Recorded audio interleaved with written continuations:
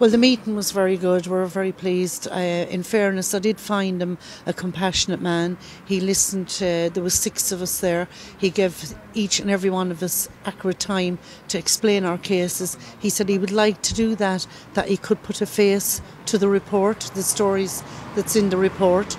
And he told us if any of us wanted to stop at any time and take a break or anything, that that was okay and that he'd give more time and um, he, uh, I, I, you know, he was saying, were we happy with the report and that? And I said, was a few things that I was disappointed in, that there was nothing being said about the physical abuse. And he said, well, no, that that was misrepresented, that there was uh, physical abuse mentioned in the report.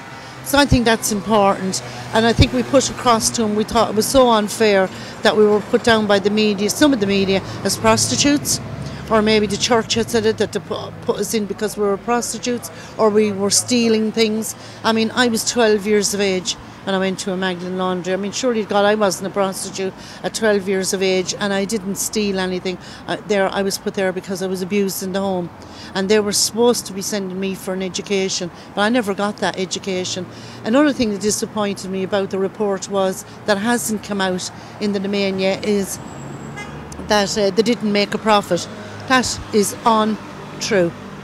Because we sit up till nine o'clock at night after our day's work in the laundry doing rosary beads when they had orders for shops. And we done uh, iron sweaters that went all over the world. There was loads of orders from America. So they made plenty of profit.